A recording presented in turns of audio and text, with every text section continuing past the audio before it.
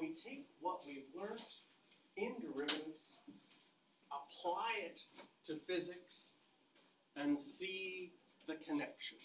So some of these things, some of you have already done in physics.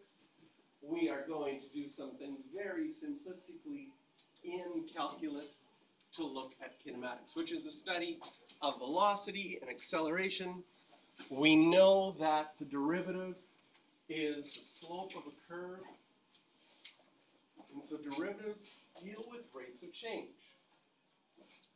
So common rates of change involves velocity, displacement, and time. The rate of displacement with respect to time?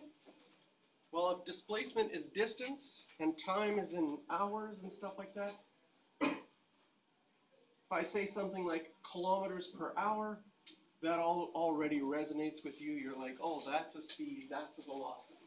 So if we take the derivative of a displacement graph, we will get a velocity graph. So velocity is always the derivative of displacement.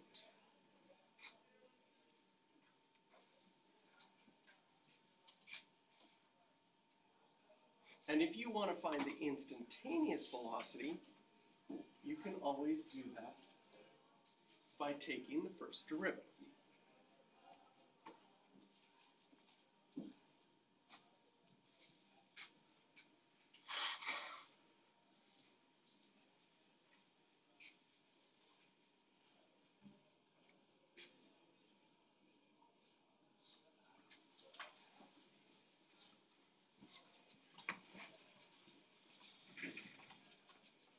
So a lot of these questions are fairly straightforward. Here we've got a displacement question, and they give us the equation for it, t squared plus 3t. If you wanted to find the velocity, all you need to do is take the derivative. So I take the derivative of that equation. Velocity is equal to the derivative, which would be 2t plus 3. Straightforward. Now I have an equation for velocity. And one of the questions that gets often asked is something about initial. What's the initial displacement? What's the initial velocity?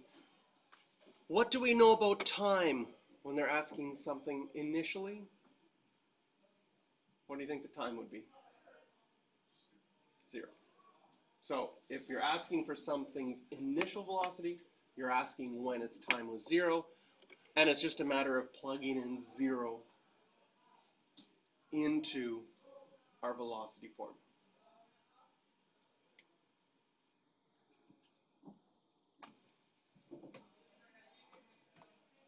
If you wanted to find it after four seconds, well, then you would just plug in four into your velocity formula.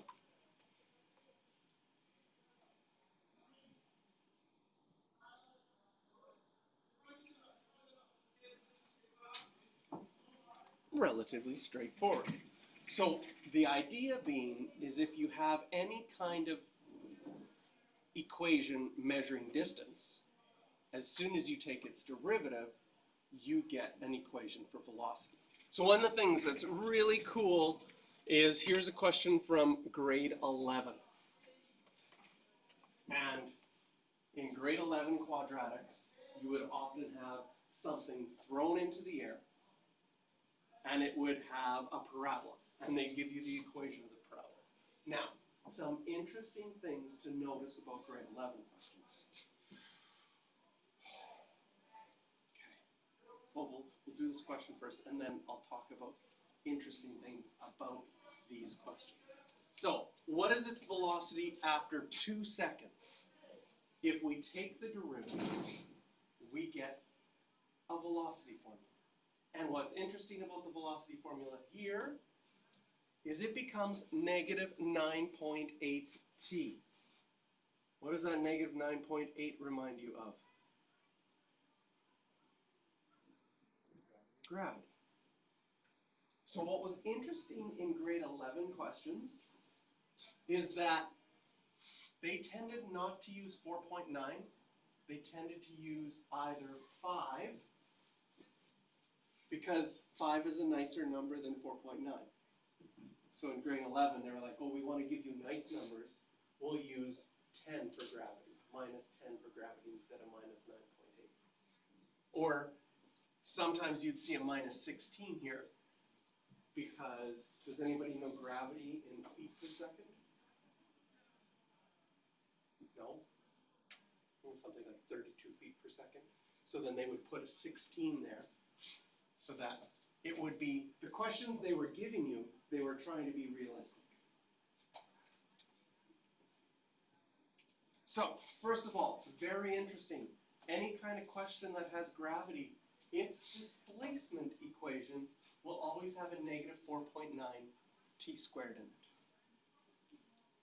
Which is kind of cool, that that gravity shows up in there. When will it hit this, when will the stone hit the ground? So one of the things that you have to be able to do here is decipher what equation do they want me to use? Should I figure, use a velocity equation when it hits the ground? Should I use a distance equation when it hits the ground? In this case, it hits the ground, its height would be zero. So I would plug into my original equation what its value would be. And when you solve this, you get t equals plus or minus 5 seconds. So now, this is where, in a real life problem, you have to think about this a little bit. If I drop a stone, will it hit the ground in 5 seconds? Or will it have hit the ground 5 seconds before I dropped it? Because that's what the negative 5 means. Negative 5 means 5 seconds before I drop this, it hits the ground. In fact, it comes from the ground, I catch it in my hand and I let it go again. Not very realistic. So the only answer that makes sense is the positive 5 seconds. And then we can take this and we can say, I can find how fast that stone is when it's going to the ground. So we can make a decision here of whether this is a good game to play with your friend. I will go up to the top of this cliff. By the way, you can see that this cliff, when time is zero, the height is 122.5 meters above the ground. I can go to the top of this cliff, and my friend can be at the bottom of the cliff. And I can drop a stone, and he can try to catch it. Is this a good idea? Okay, this is what we can decide. Well, right now with calculus, we can find out how fast is that stone going when it reaches the ground. So we could plug in 5 into our velocity formula. Negative 49 meters per second. Okay, that would be like running the 100 meter dash in about 2 seconds. I'm trying to imagine if I would like to stand in the 100 meter dash and get hit by Usain Bolt if he was running. And he's only going about 10 meters a second. So this stone is going at nearly 15 meters a second. Maybe it's not a good idea to drop stones and see if my friend can catch them at the bottom of this cliff.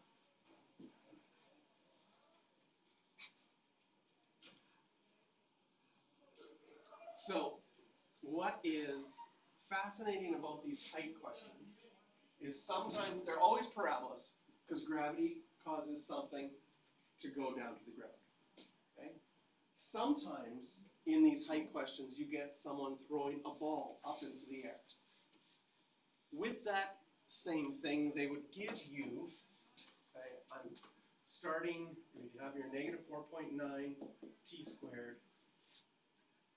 plus 7t plus 3. So this would mean I'm starting at 3 meters above the ground. I've still got my gravity built in at the negative 9.8. But interestingly, is if I found the derivative of this,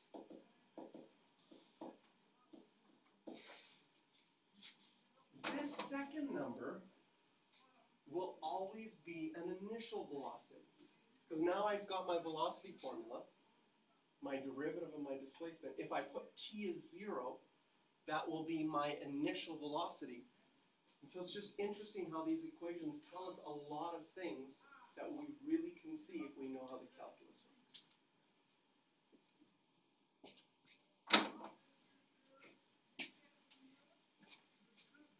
So, if the rate of change of distance with respect to time is velocity, the rate of change of velocity with respect to time is acceleration. So acceleration is the derivative of velocity. So I like to remember this with the word We go from distance to velocity to acceleration. So whenever you take the derivative this way, that's when you're going to go next. The derivative of displacement will be velocity. Derivative of velocity will be acceleration. And you know that acceleration due to gravity is constant, right? It's always negative 9.8. If we look at our previous question, right? What's our velocity? Negative 9.8 t. Can you see that if you did another derivative on that, you would just get negative 9.8. And then that would be your acceleration. And there would be no change to that acceleration. It would always be constant.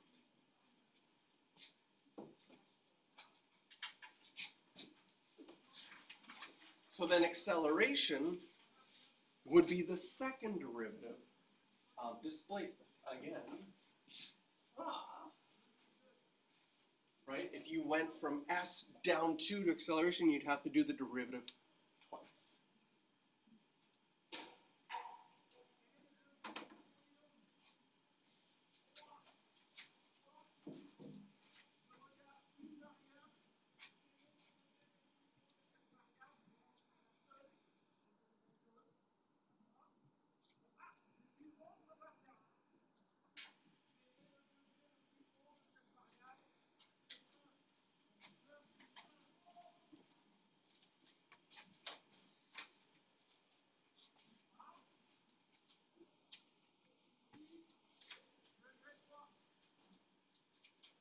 So try this question on your own. I'll give you the answers in a second.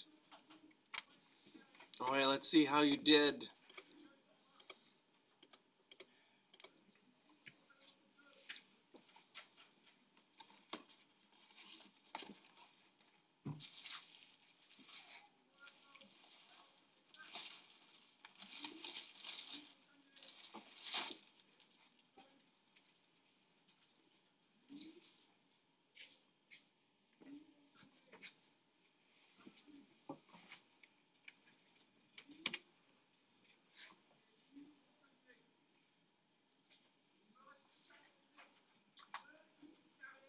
So in example four, we've got our displacement formula.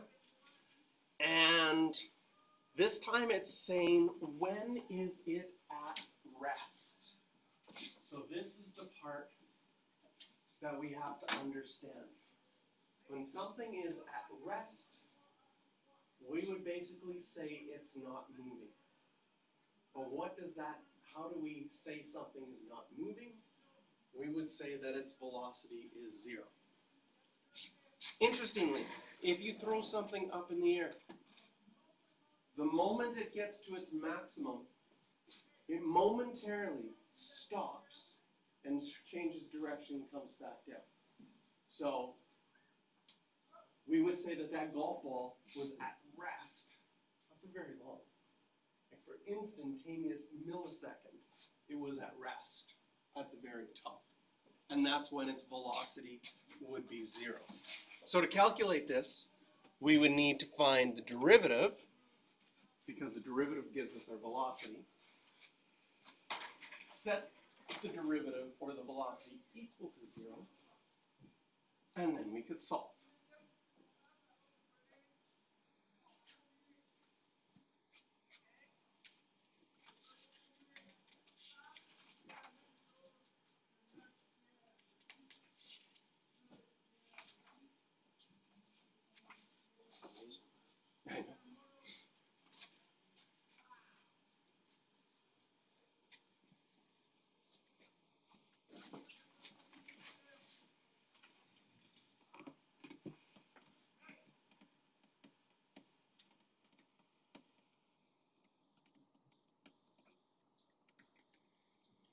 And then if you want to find the values of s at these times, now you'd be plugging those values back into your original equation.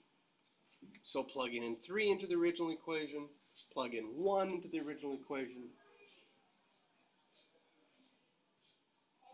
The rest is just type it into your calculator or doing some mental math.